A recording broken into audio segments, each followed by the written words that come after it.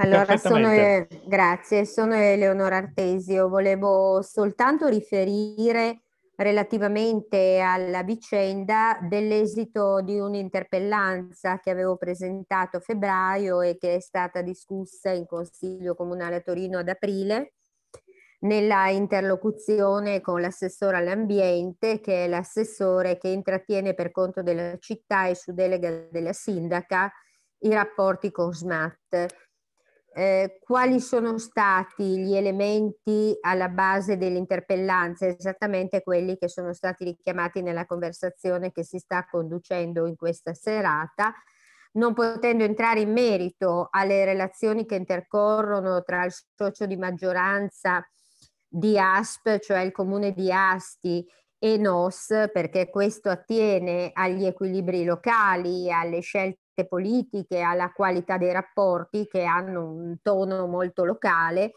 La questione che poneva l'interpellanza era la consapevolezza o meno che il Comune di Torino potesse avere relativamente ai comportamenti che definirei prevalentemente di assetto finanziario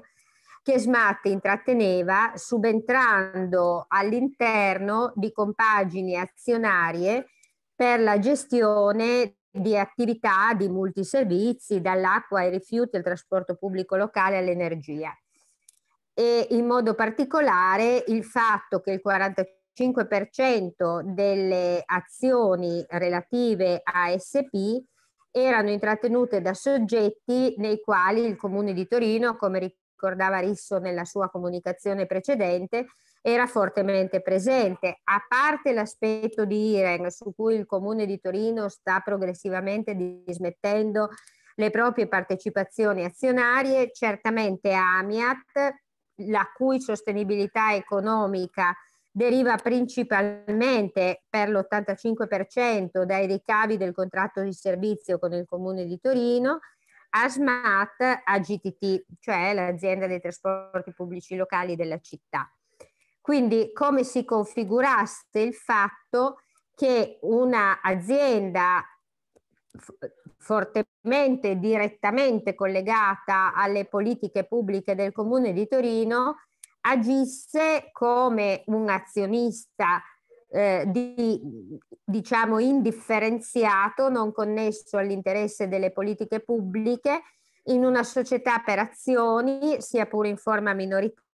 ma assumendo comunque un ruolo di carattere apicale e come lo svolgimento di questo ruolo configurasse addirittura degli elementi di conflitto relativamente agli enti locali che eh, demandano a queste società per azioni la gestione di servizi primari e ovviamente si presume lo facciano nella tutela dell'interesse pubblico. Per cui risulta abbastanza curioso che una società a partecipazione pubblica si trovi all'interno di un conflitto sugli interessi pubblici.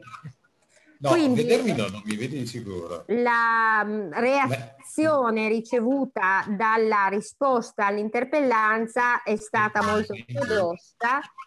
relativamente agli aspetti di carattere formale, ci mancherebbe altro, cioè ci mancherebbe ancora che queste modalità non fossero supportate da una procedura assolutamente corretta dal punto di vista della legittimità formale. Infatti, lo statuto di SMAT, l'oggetto sociale dello statuto di SMAT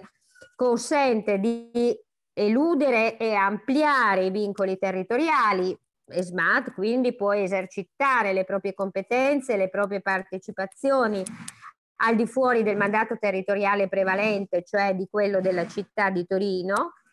il tipo di ingresso determinato da SMAT all'interno della società NOS che per il 45% detiene le azioni di ASP è stato eh, legittimato con espressione favorevole sia dal Comune di Torino sia dagli altri comuni soci di SMAT e i risultati economici di questa operazione sono positivi. Quindi dal punto di vista della procedura e dal punto di vista dell'interesse, le questioni sembrano essere assolutamente compatibili, coerenti, formalmente trasparenti e quindi eh, non preoccupano, non intrigano eh, gli aspetti delle politiche del Comune di Torino. Ovviamente eh, l'approccio che si sta discutendo nel corso di questa serata è un approccio di altro tipo, vale a dire se progressivamente tutte quelle organizzazioni di servizi e prestazioni che nascevano su mandato di un interesse pubblico a gestire servizi essenziali si sono trasformati in soggetti che agiscono indifferentemente sul mercato finanziario, individuando quali siano le partecipazioni più convenienti e quali siano gli elementi di maggiore interesse per produrre anche delle entrate rispetto alla società madre, probabilmente siamo molto fuori dalla logica dei servizi pubblici essenziali e dalla logica delle funzioni politiche di tutela e di rappresentanza degli interessi generali, perché ci si comporta come un qualunque altro soggetto, peraltro si è in compagine anche con soggetti privati, ci si comporta come qualunque altro soggetto rispetto al quale l'elemento di orientamento dei propri comportamenti e delle proprie scelte è sostanzialmente quello dell'interesse di carattere economico. In più io ho un po' seguito a distanza, ovviamente non è il mio territorio, non è il mio ambito di influenza e quindi non potrei svolgere nulla di utile come consigliere in quel contesto. Il dibattito che si è sviluppato rispetto alla possibilità che a livello locale di ASTI, il Movimento dell'Acqua Pubblica ha posto, di scorporare il tema della gestione dell'acqua dal tema della gestione delle altre funzioni e di come eh, le situazioni di conflitto intercorse tra il socio di maggioranza, comune di Asti, e la compagine societaria che detiene il 45%, possa produrre delle inquietudini eh, più o meno fondate, io mi auguro per l'interesse dei lavoratori e per la qualità del servizio non così fondate, delle inquietudini, dicevo, relativamente ai livelli occupazionali, agli investimenti da realizzare, alla stabilità dell'azienda nel suo insieme. Quindi dal nostro punto di vista il tema ritorna ad essere un tema di principio, anche se tutte le questioni concrete e contingenti che riguardano questa vicenda evidentemente vanno presidiate da chi ha l'autorevolezza e la possibilità di farlo localmente, dicevo una questione di principio che riguarda il fatto che appunto i beni pubblici vanno tutelati con forme di gestione pubblica che perseguano l'interesse pubblico. E da questo punto di vista anche la richiesta a Torino di trasformare SMAT in azienda di carattere pubblico che ci ha visto a lungo impegnati, compresa la maggioranza del Consiglio Comunale di Torino, è significativa da questo punto di vista. Quindi io sostanzialmente direi che per il nostro approccio, il nostro sguardo,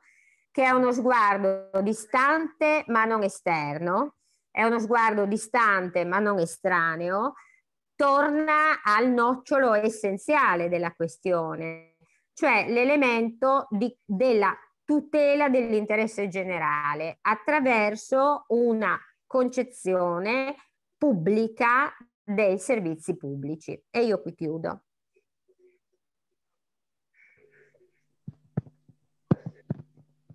Bravissima.